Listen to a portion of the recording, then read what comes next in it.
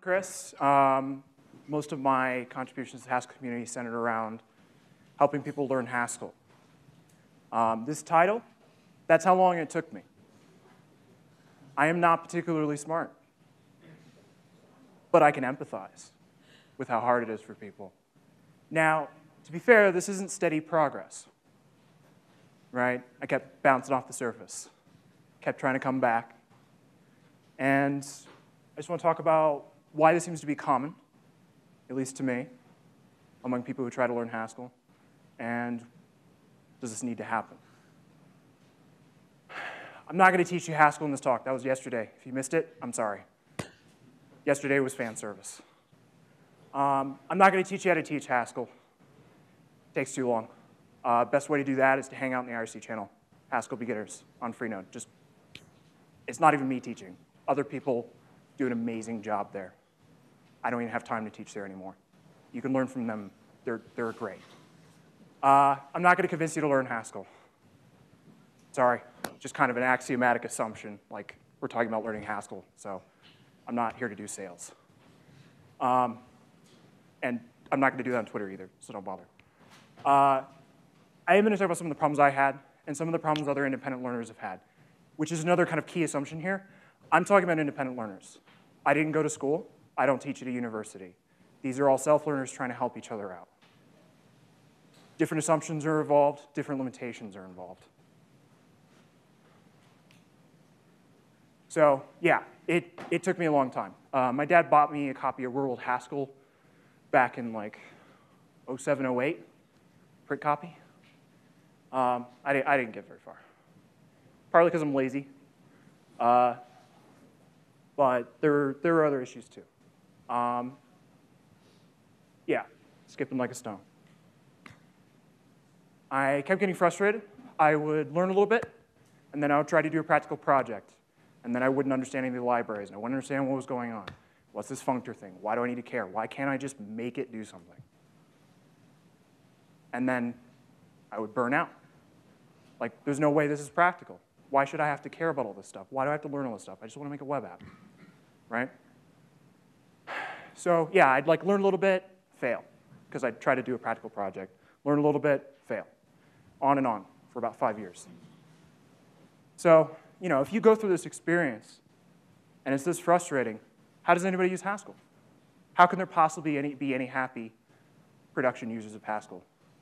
Just so you're not in suspense, I use Haskell in production. I'm very happy. so there's a happy ending. It's a Disney story.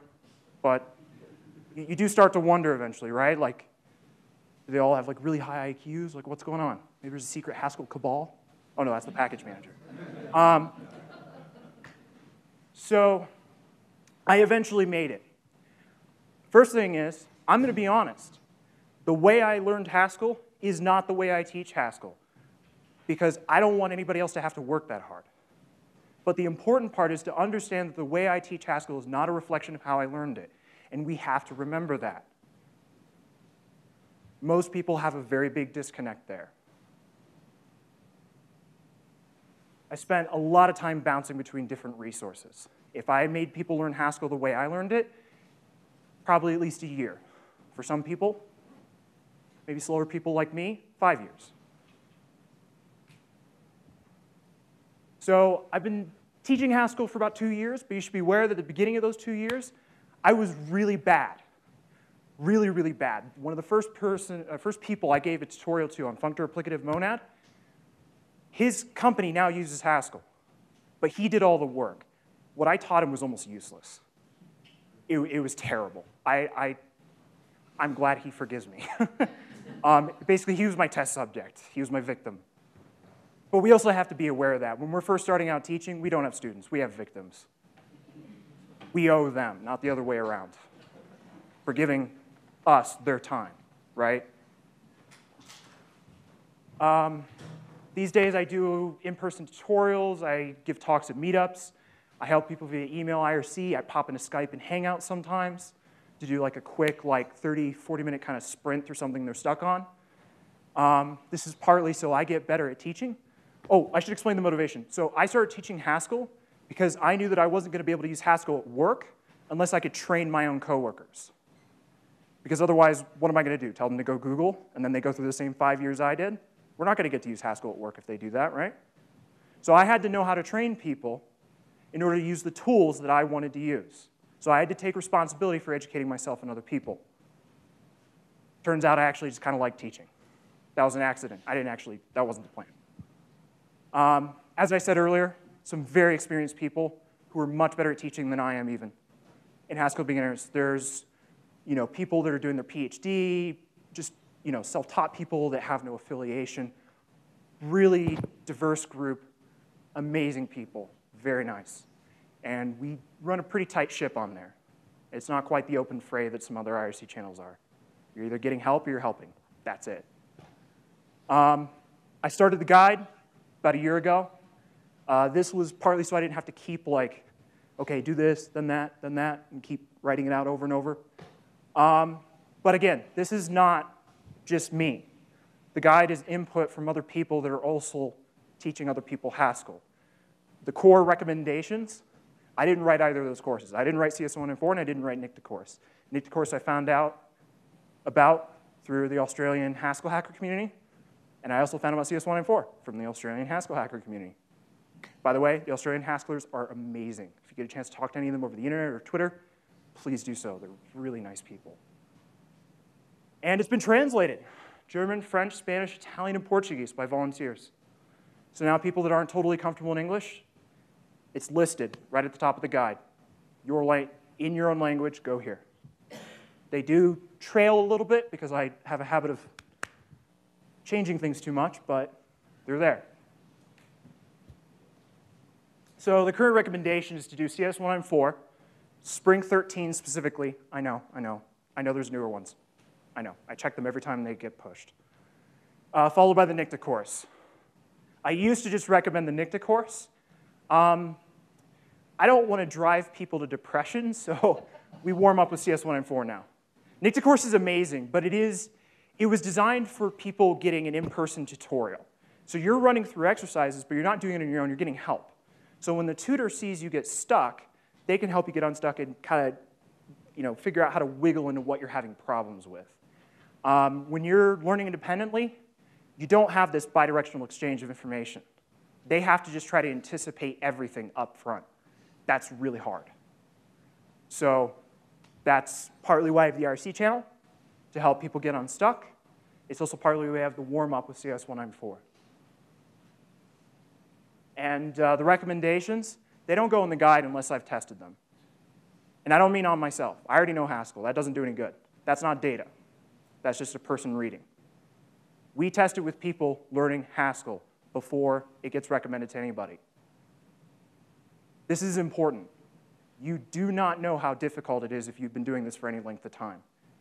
You do not know how effective it's going to be up front. You have to collect data. I know the N can't be that large. There are limitations, but you need to at least try.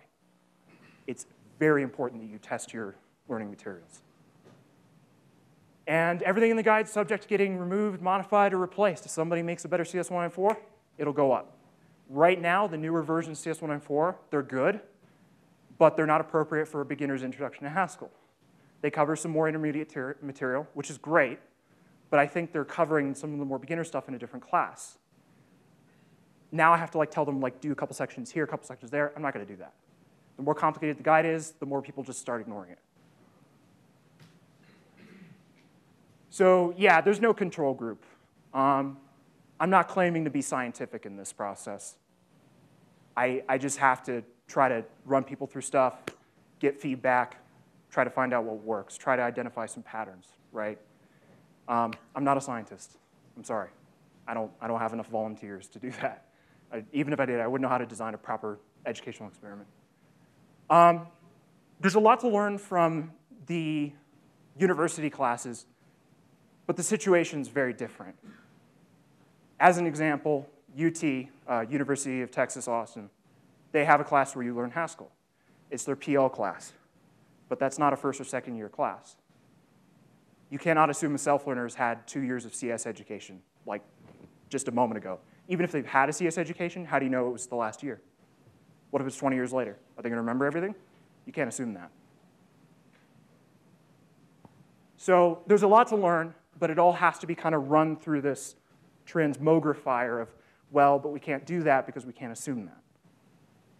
Some of the people learning Haskell through the guide, through the IRC community, some of them are students. Some of them are bored with their classes and want to learn something more interesting.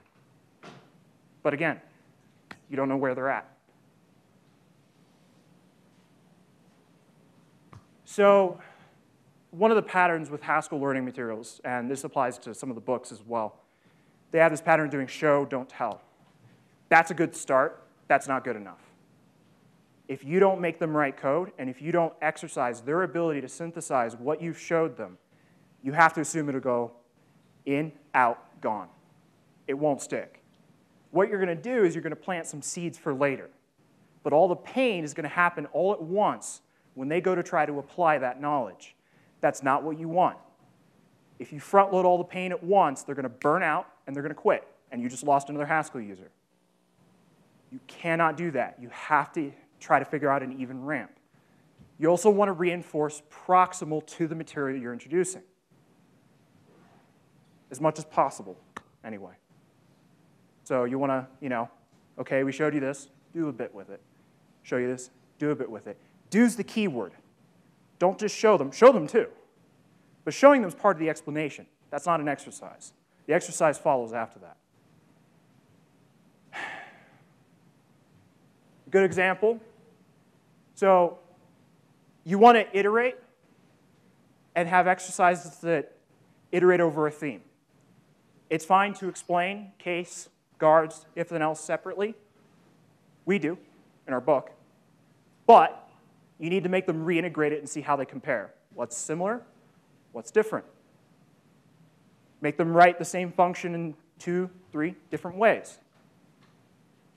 They aren't going to know how everything relates unless you make them do that. If you don't do that, they have to do it later, all at once. Then they're going to get frustrated, then they're going to give up, then you lost another Haskell user. Okay, so I kind of alluded to this. Most people believe that the way they teach Haskell is the way they learned it. I think there are reasons for this. It's usually not true. Most people are, have created a narrative around how they learned things that is mostly not true. I'm not saying they're liars. Everybody walks around with all kinds of self-delusions, right? Like we all, like I believe I'm a nice person. That's totally not true.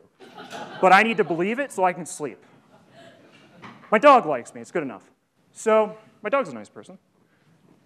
So we create these narratives around how we learn things. We believe, you know, we're the, you know, the super brainy, you know, rough and, well, okay, depends on your cultural background. I mean, I, I guess in academia it's different. But like, definitely among the self-learners, one of the anti-patterns, if you will, is they believe that, you know, the rough and tumble Haskell, well, not Haskell specifically, but just hacker figured it out and did it all themselves. And yeah, that's nonsense. I've seen all the questions that, you know, people have to go through on IRC and mailing us. Getting help is good, just to be clear. But don't tell yourself that you didn't get help. You did. You got a lot. Some of it was synchronous, talking to somebody. Some of it was asynchronous, expository explanations in addition to some core course. Like you were reading something in a book, the explanation didn't make sense. What the hell is this functor stuff? I don't understand it. They're just showing me some code and I don't know what's going on. Then they proceed to Google and go through a bunch of other functor explanations. Then they understand it. But what are they going to tell the next person that wants to learn functor? Oh, I read this book. That's not true. That's not the whole truth. And it's important that we understand that that's not the whole truth. Because otherwise, the recommendations we're giving people are subjecting them to the same pain that we've already gone through. And that's not necessary. We can fix that. Uh, fetish and myth. So this is kind of specific to Haskell. It might be kind of specific to FP in general. We fetishize difficult materials. This really has to stop. This is bad. We are fetishizing materials just because it makes us look smarter. That is a tremendous waste of people's time. There is an essential difficulty ramp to these materials, don't get me wrong. Fixed points, figuring out how to pull a fixed point out of a data type instead of direct self-recursion in the data type, that's definitely, that takes a leap beyond just a recursively defined data type. So there is, in some sense, an elaboration. Is it more difficult? I don't know. Maybe once you've gotten recursion, it's not a big deal. But there is an elaboration there. But does, does this mean that the only resources on this topic should be white papers that are dense with jargon that they're not going to know? I'm not saying these papers aren't valuable, but they're not written for self-learners or for your typical working programmer for that matter. I'm also not saying that we should bowdlerize our terminology. You will never hear me call functor mappable. There is a specific reason for this. The names we use for things are not an opportunity for branding exercises. I'm not going to rebrand functor and then be like, hey, look, I've invented a computation expression or some nonsense. No, it's a monad. It has a history. You need to be able to know how to look it up. If I give it a new name, you can't find any of the history of it. I have wiped your ability to find out the entire genealogy of that topic, and I have deprived you of the opportunity to deepen your understanding. That is also, just in my opinion, totally unacceptable, and that has to stop. We have to tell them where to find out more. We don't have to tell them all at once. We don't have to tell them one resource.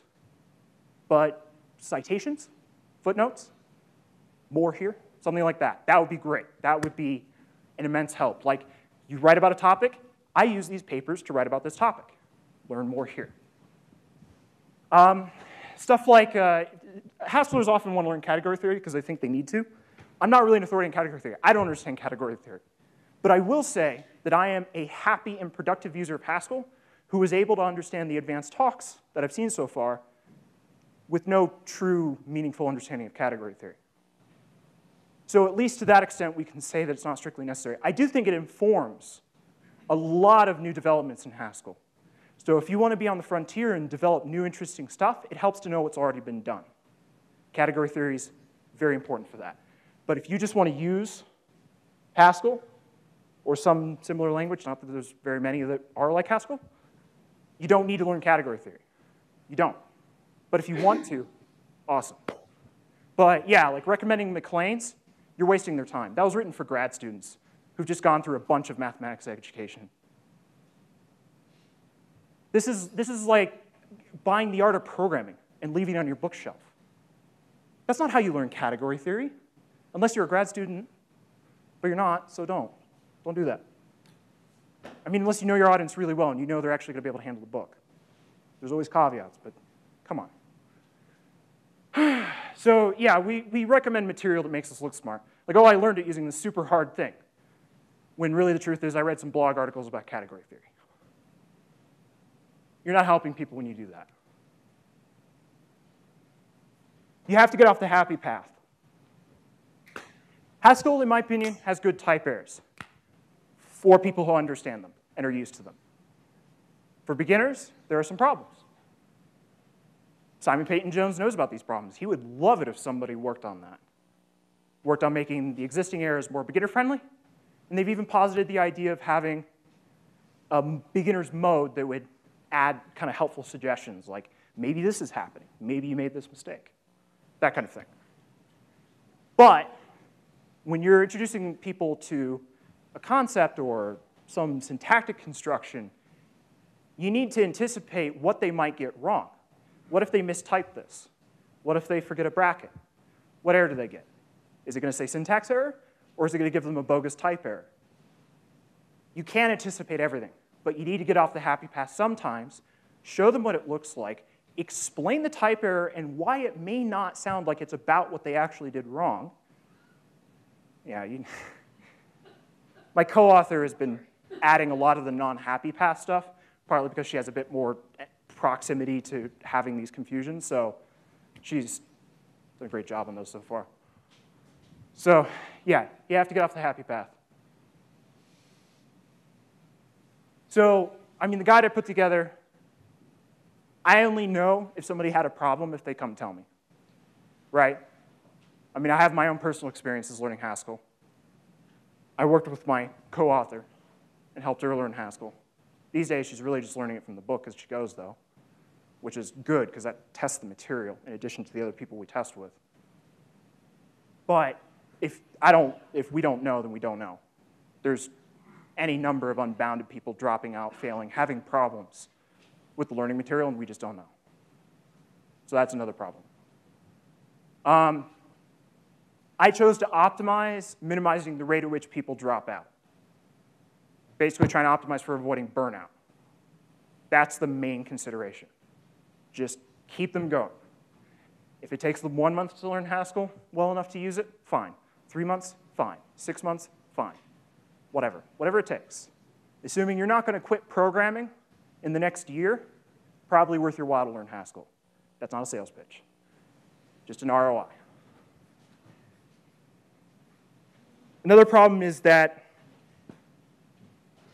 some of the most well-known materials for learning Haskell are nowhere, they're not really in the top five. This is a problem because now the onus is on you to explain to them why they shouldn't use the popular thing. Fair? Fair. So I wrote a whole blog post about it. Now some authors on Twitter are angry at me. Fine. I'd be happy to work with anybody whose work I've criticized to help them improve it. I would be happy to. Nobody's taken me up on that yet. I'm not naming names. I'm not doing that, sorry. I, I have a blog post. I go over it in detail. And in that context, I also mention pros, so that softens it a bit. Because every resource does have good points, just be clear. Every resource does have good points, but I can't craft a path for learning Haskell by cherry picking page numbers out of 10 different resources. That's ludicrous. I'm not going to do that. I'm not going to expect the readers to do that either. So, another problem is that most authors, and I understand why, being in the middle of writing a book myself, they, they craft one explanation for a topic. But what did I mention earlier? You read the explanation in the book about functor, you reach the end of the chapter about functor, you still don't understand functor, now you have to go Google other resources and explanations. My hypothesis, and this is not well established, is that people just need to see things from different angles before they really feel like they get it. Sometimes they actually understand it and just don't believe they do. Sometimes they actually don't understand it. Another important here, part here is you need to, so just as I talked about getting off the happy path, you need to craft with positive and negative space, just like design. It's not enough to show them what's good and what works. You need to anticipate what they're going to do wrong, what they may want to do because they're just not familiar with it, that isn't good or wrong or some kind of misunderstanding, and you need to actively target that and excise it and show them why that's not true. If you don't do that, it just lurks. And then you get people thinking functors are just things like lists. They're not. Not at all. So, the single explanation problem, I'll have a thing up here in a moment to show you why that's a problem. But I don't think Haskell is particularly difficult to use. I don't think it really needs to be all that difficult to learn. I do think there is a high novelty associated with it relative to the programming languages you already learned. If you go from Python to JavaScript, what are you really learning? Syntax? Most people don't use prototypes, so don't tell me that makes a difference. What is it? You call it an object instead of a dictionary? How much is really new there? I'm not trying to make fun of the languages, I'm just, let's be honest. How many new concepts are they actually learning? Now, if you go from JavaScript to Haskell, what are they learning? Everything, from the ground up. You're learning how to program. So you might as well just write Haskell books as if they're learning how to program, because they are. There's no point making any analogies. They won't make sense. So that's why we're writing our book for non-programmers. There's no point. We can't reuse anything. So we'll just assume you don't know how to program. So most resources don't use like best known effective explanations for most things. They do have bright spots. Some are better than others. Uh, for example, here, I'll, I'll call out a name and give you a strong example. Hutton's book has really good material in parser combinators. Really good.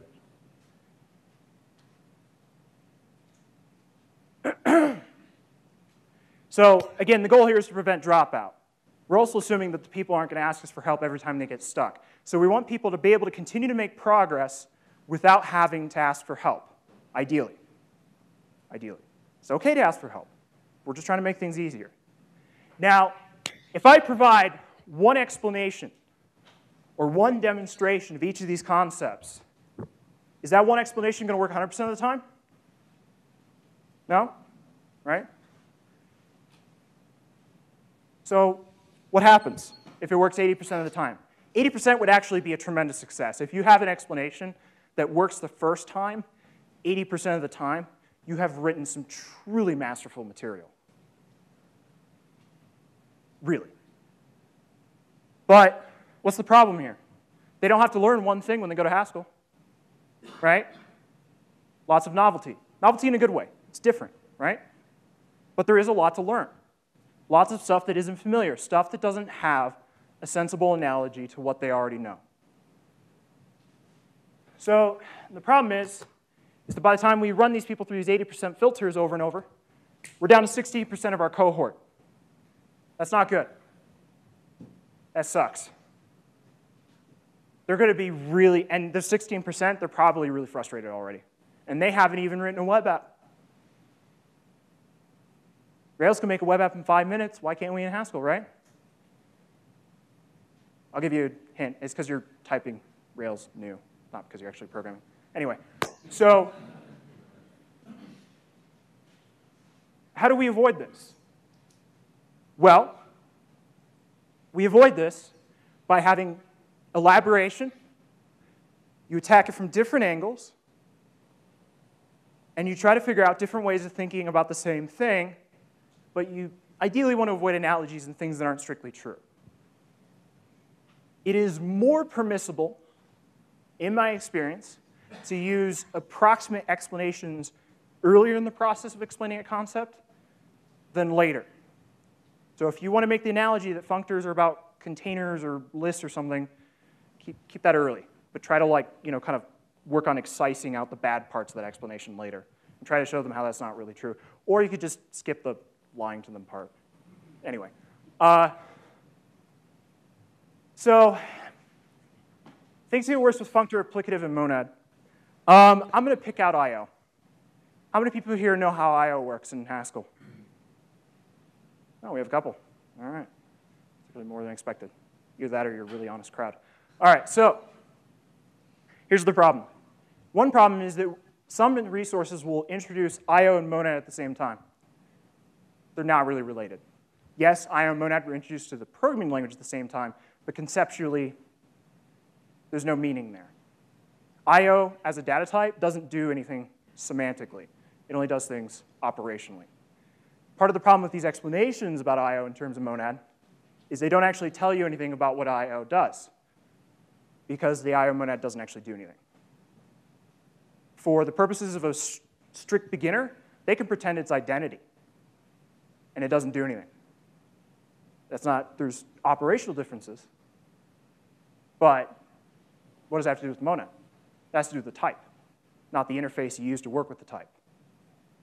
So you need to uncleave these things. Another problem with these explanations is that if I tell you that Haskell perform, can perform side effects because an I.O. call is a prayer to the sun god Ra, who will then inject the side effecting code, that is approximately as true and useful as most of the explanations of I.O. I've seen. if your explanation does not give them the ability to predict what code does when it does or does not have I.O. at the end of the type, and I don't mean the presence of side effects, I mean the operational difference, don't bother. Don't even say anything. Just pretend it's identity, because for their purposes it is. It doesn't matter. Either your explanation provides explanatory power. Explanatory power means they can read it and predict what it'll do without executing it. Because that's the whole point of this types thing, right? We should be able to just read code and know what it does. So if your explanation is not in service of that faculty, drop it. There's no point. You'll just be wasting their time. And yours. So there were a lot of Haskell resources written in the 90s that were actually pretty damn good, but they were written in the 90s. Why is this a problem? Well, Haskellers really like discovering new things that are useful. And that's great. That's a good thing. We should have languages that are able to evolve. However, practice has gotten ahead of pedagogy. Even this, functor applicative monad, it's a good start. You're still going to need no monad transformers if you write a web app, probably, unless you use something that just slaps IO and everything. Ugh. But you could. And I actually think that's valid, by the way. Like when you write your first you know, web app after learning some Haskell, keep it simple. Don't, don't try to, you know, go for maximum, you know, fanciness. Keep it simple. But yeah, practice has gotten ahead of, uh, of a lot of our learning resources that were already really good. So the problem is, how do we connect the dots, right?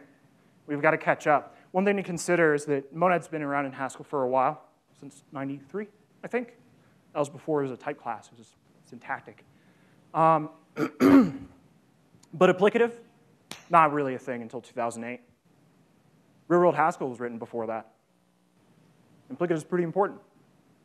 But it's important not just because of how we use it. It's actually important because it actually helps with the understanding the whole functor applicative monad thing. It's less of a leap from functor to monad that way.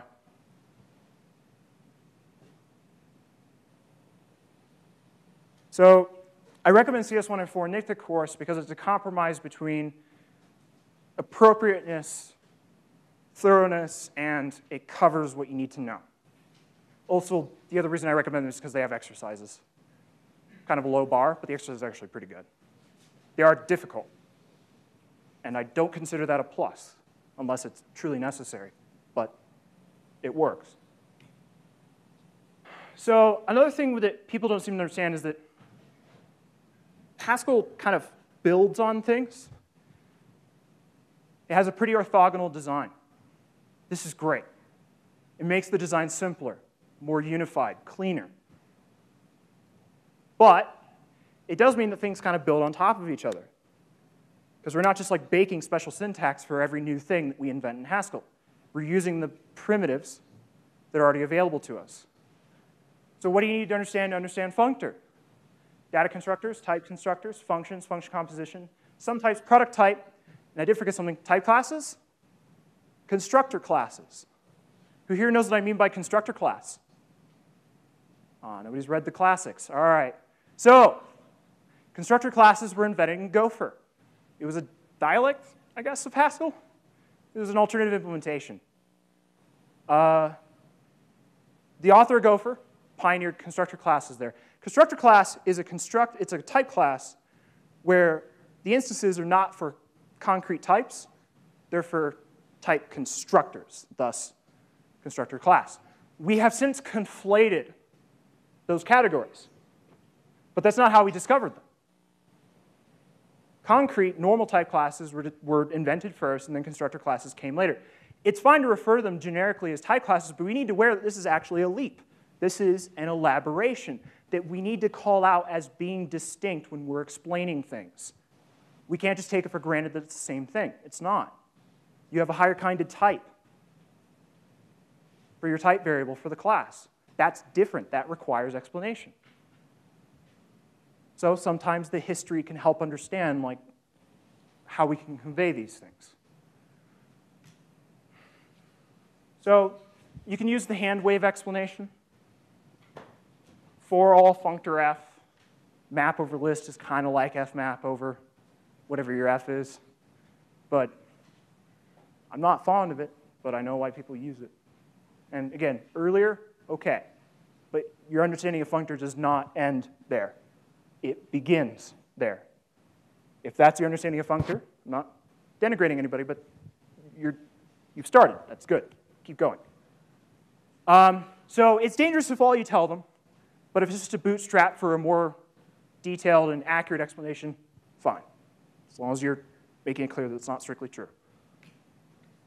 Well, it's true in a lexical sense because you're kind of just swapping out the types constructor and, you know, but we don't worry about that. So all right, why is the hand wave problematic? Because there are valid functor instances which are perfectly law-abiding, which contradicts this intuition, right? And intuitions are useful. Uh, that's another thing. We don't work backwards from formal definitions. That's not how human beings learn. I'm just going to go ahead and plant a flag in the ground here. We work our way towards formal explanations from informal experiences with those structures. You build your way up. They develop some familiarity you tell them how the formalization works, then they understand the formalization. You can't just drop an equation on somebody and be like, deal with it. That's not education, that's definition. That's a dictionary. So don't believe you're helping somebody by doing that. But, so intuitions are good. This is how we build our way, our way towards a more principled and accurate understanding of what we're working with. But we want our intuitions to be accurate. Right? Does the intuition of the functors kind of listy hold for the const type? What happens to our f? Are we doing it with f? Or f the argument, not the functor f? Nothing. So if we think a functor is being like list, this doesn't really work. Because we're only allowed to not apply that function because b is phantom. If, like list, the type variable we're mapping over has a witness in the type, we are obligated by the type system to use that function to produce the value of a new type. It won't let us do anything else. But I can just work with this small, simple example, and we can see how that's not really true. So what is functor really?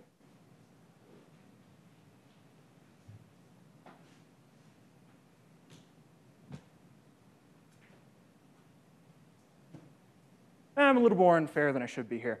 But so equating functor with collection containers, it'll deprive them of some nicer, more useful intuitions of where they're going to find a functor and what a functor is. It works okay, because like to be honest, like a lot of the functors and the stuff we map over in Haskell, a lot of them just look like ASTs anyway. Because you're modeling some domain, the domain ends up looking kind of like a grammar, the grammar is basically an AST, right? That's a lot of like business logic in Haskell. So that intuition kind of holds, it's like a tree, basically. So that's, that's okay.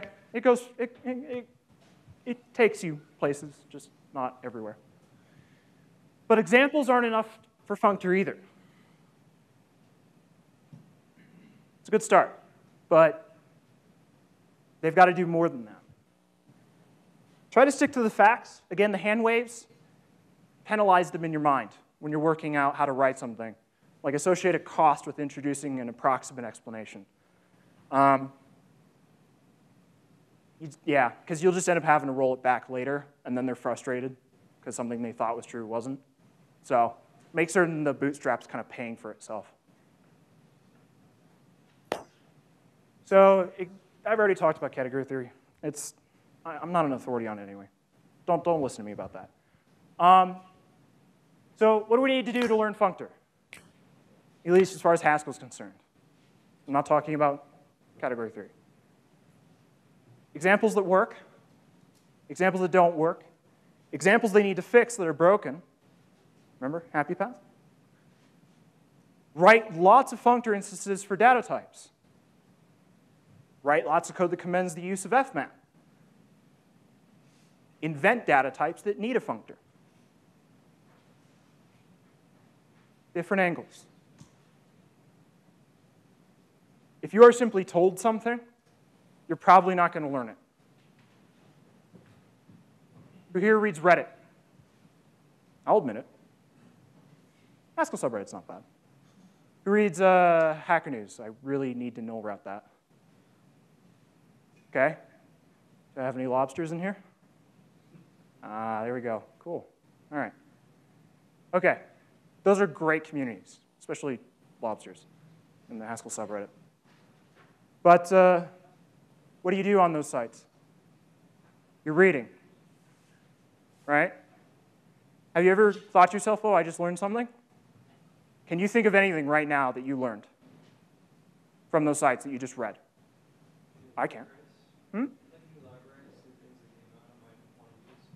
That's news. I fair point. So news announcements, all right. But like learning a concept. If I write a post about Functor on my blog and I post it to Lobsters or Hacker News or Reddit, and they just read it, even if I have exercises, they're not going to do them.